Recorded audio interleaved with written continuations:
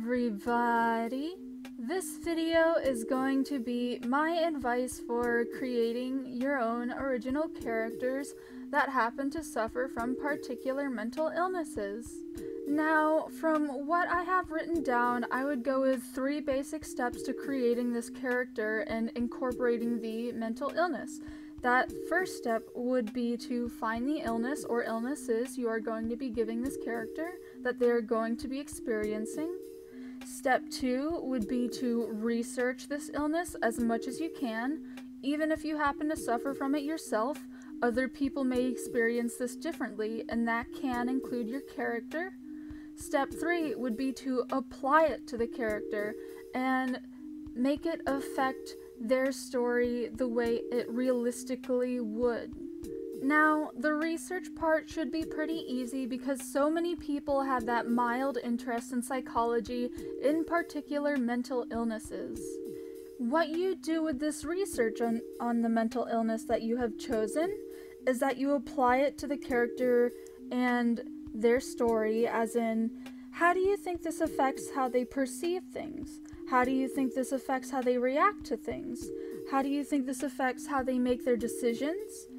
How would you think it affects their goals or their motives? That would be a big one, especially if the character happens to be a main character in a story of yours. I know depression comes with a lot of apathy, it comes with a lot of fatigue, a lot of lack of inspiration, no, no motivation to do anything. You often may come off as distant, sad, maybe even angry. You may be quiet. It depends on the person and the character we're discussing, but depression is a very flexible illness in terms of how it, it executes itself in someone. So that often has the same vibe of uninspired, unmotivated, apathetic. Keep that in mind if your character has major depression or something. They may not want to go through with everything, and that may be the conflict in the story. They may have something they need to do, but they simply cannot get themselves to do it because they are depressed. Bipolar disorder is another major illness. It is consistent of depressive episodes and manic episodes. There's bipolar 2, which is the more common form, I believe, and bipolar 1, which features more psychotic symptoms. Now, depression, I just explained basics of. Mania, this happens to include a lot of hyperactivity, a lot of feeling extremes. When manic, people may seem like they're panicking or something. Just a lot of intense emotion and intense feelings are there during those times. A third major illness that people seem to love to write for horror, and when I say love to write, I mean write it poorly and in the wrong context, happens to be schizophrenia or any other psychotic illness. Now, the major symptoms of schizophrenia happen to make a person come off as acting inappropriate or bizarre or just plain weird.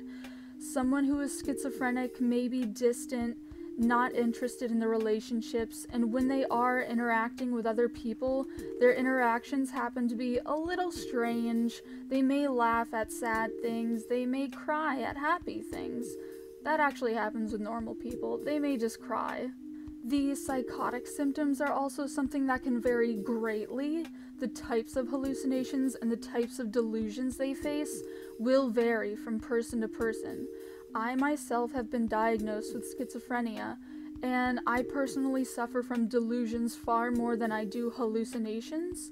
My delusions happen to range from persecution to paranoid. Usually, someone is out to get me in one way or another. I would go into specifics, but people would think that it is just extreme that, and like many schizophrenic people, I can't exactly tell what is or is not a delusion or a hallucination. What I think may be happening may not be happening, and what I think may not be happening may be happening. Psychotic disorders deal with a disconnect from reality, and that expresses itself in many ways. An example I have of a schizophrenic character in particular and depressed would be my own character Ash who happens to give off a little unsettling vibes. They're not all that talkative with other people. They hallucinate, they have their delusions, and due to this, they think a little irrationally. They're used to these unnatural things happening, and so they perceive it as normal.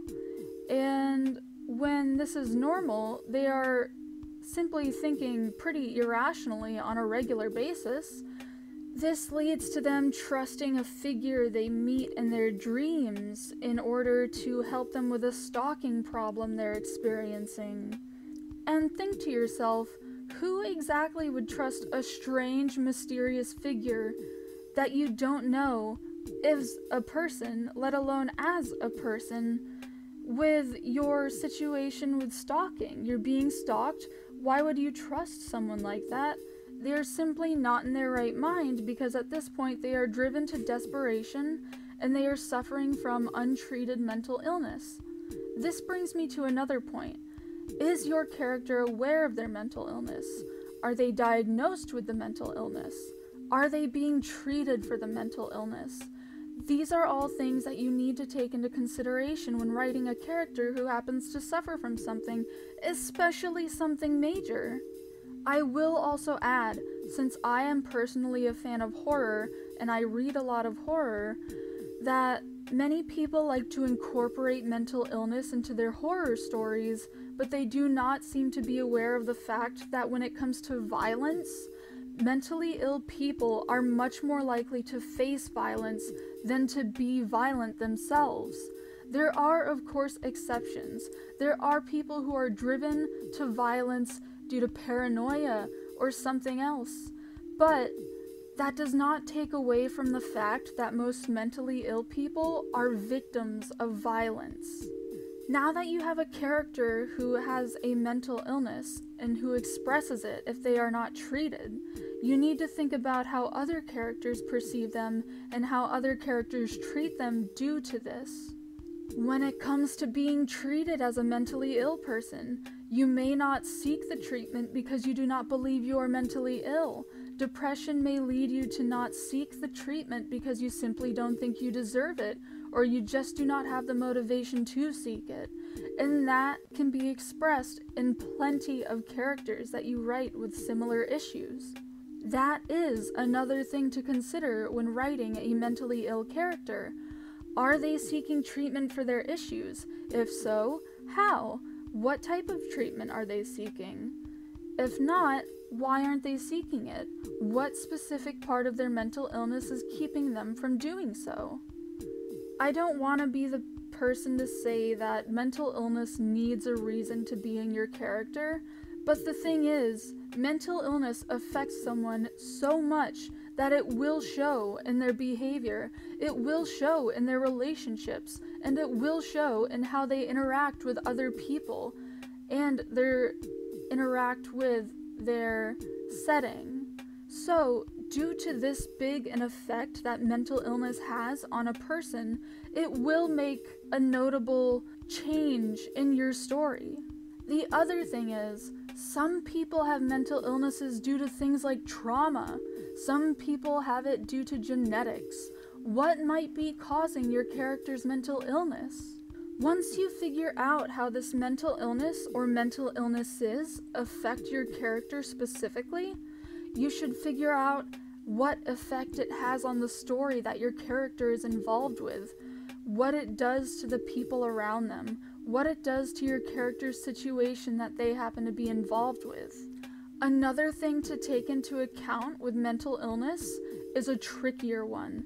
It happens to do with the gender your character is raised as, and how being treated as this gender affects the way that they express themselves with this mental illness, such as women may be more outwardly expressive with their emotions because they are raised to be more emotional outwardly in comparison to men.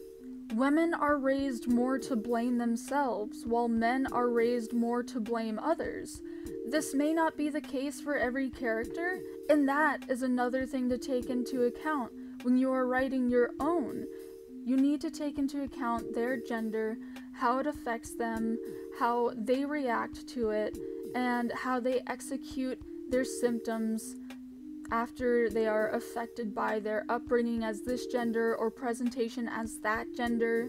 It is also a very good idea to ask questions to someone you may know with the illness that you are researching for your character, as some experiences may give you ideas if they give you consent to use that as an idea.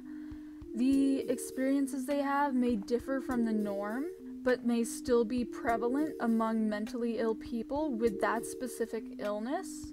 Ultimately, you need to think about what this illness is. How does it affect this character? And once you figure out how it affects the character, you need to figure out how this character interacts with other people and with their environment due to this illness. Does it have an effect on how they interact with others? Does it have an effect on how they interact with their environment? If it's something like schizophrenia or anxiety, it definitely should, and your writing should reflect that. You really just need to think realistically when it comes to writing characters with these mental illnesses. You need to think how would it affect a real person? How does their upbringing affect how they act now? How does their upbringing affect the mental illness they have now? How do those two things mix together to create how this person acts? Anyway, that would be most of my advice for writing characters with mental illnesses. If you have questions about specific mental illnesses, you can ask someone who experiences them. In my case, I suffer from schizophrenia most prominently, so you can come to me for questions about that. I cannot guarantee an answer, but I can guarantee that I will try to help. Anyway, thank you for listening and watching the video. Thank you so much. If you have recommendations or requests for what you may want to see or hear about, please comment, and I will see you guys another day. Goodbye.